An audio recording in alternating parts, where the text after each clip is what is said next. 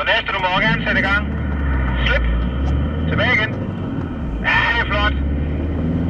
I vil også opleve, at øh, forenden af bilen får sværere og sværere ved at nå op og komme ind igennem den grønne port deroppe en gang til.